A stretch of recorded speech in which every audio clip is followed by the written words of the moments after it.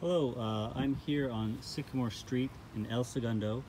This long planter here is actually separated into two zones. One zone to the right is GrowStream from responsive drip irrigation. All of these plants are up until this point right here. And then everything here over is got Netafim in it. So we can go ahead and take a look. Here's where our pressure regulator is. Our pressure currently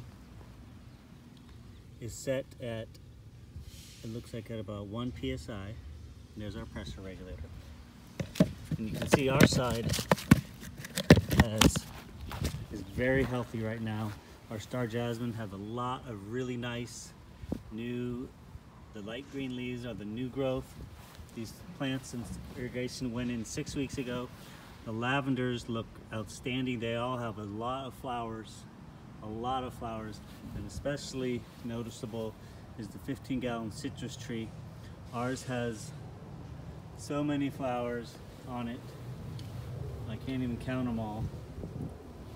Um, the whole thing basically has got flowers on it. It's looking really good.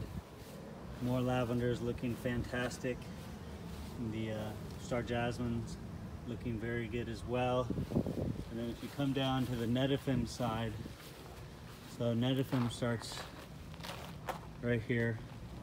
The lavenders, uh, not, not, not nowhere near as impressive as the ones on our side.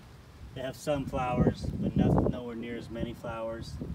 The citrus tree has uh, maybe a fifth of the flowers, if that. Ours has flowers all over the tree. This one only has a few, and uh, more of the more of the lavenders on the Netafim side, and then star jasmine is just nowhere near as, as nice as ours. Um, big difference between Netafim and GrowStream. Let's just go ahead and look at the irrigation system here. There it is right there. There's Netafim.